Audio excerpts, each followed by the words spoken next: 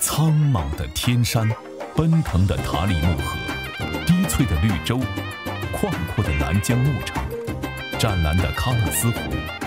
荒凉的塔克拉玛干沙漠，冰冷的天山冰川，山水林田湖草沙冰，